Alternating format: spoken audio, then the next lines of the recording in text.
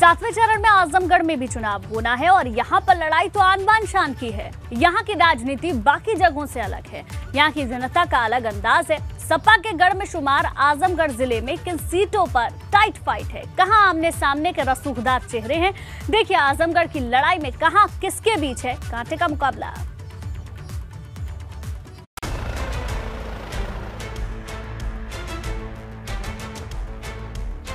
गाजीपुर और मऊ से सटे।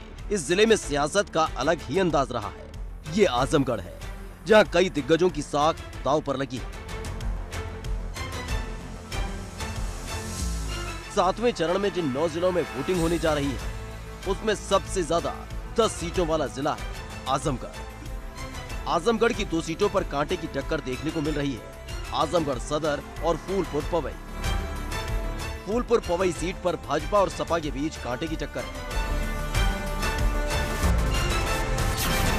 जहाँ से समाजवादी पार्टी के प्रत्याशी रमाकांत यादव है तो वही दूसरी तरफ़ भारतीय जनता पार्टी के प्रत्याशी राम सूरत राजभर फूलपुर पवई सीट पर रमाकांत यादव के आने से मुकाबला खड़ा हो गया, क्योंकि 2017 में रमाकांत यादव के बेटे अरुण कुमार यादव भाजपा की टिकट पर विधायक बने थे, लेकिन इस बार रमाकांत यादव सपा की टिकट पर मैदान में हैं।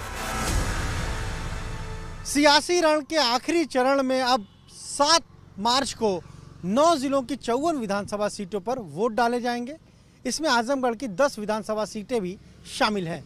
समाजवादी पार्टी दावा कर रही है कि पिछली बार नौ सीटें जीती थी, लेकिन इस बार दस की दस सीटें आजमगढ़ में जीतेंगे। तो बीजेपी के अपने दावे हैं। बीजेपी कह रही कि इस बार आजमगढ़ में परिवर्तन होगा, कम से कम तीन सीटें बीजेपी जीतेगी। अब अगर हम बात करें सीटों की तो फुलपुर पवई, जहाँ पर रमाकांत यादव समाजवादी पार्टी के उम्मीदवार हैं। बीजेपी में थे, सांसद बने, फिर टिकट नहीं मिला, नाराज़ हुए और फिर अगर हम कहें तो समाजवादी पार्टी में चले गए, जहाँ से आए थे। समाजवादी पार्टी ने उम्मीदवार बनाया है और उन्हें टक्कर दे रहे हैं राम सूरत राजभर आजमगढ़ में सदर सीट पर ज़बरदस्त लड़ाई है, क्योंकि सपा के मौजूदा विधायक दुर्गा प्रसाद यादव एक बार फिर से मैदान में तो वही भाजपा ने अखिलेश मिश्रा को प्रत्याशी बनाया। अगर हम आजमगढ़ सदर की बात कर लें, दुर्गा यादव आठ बार से विधायक चुने गए हैं।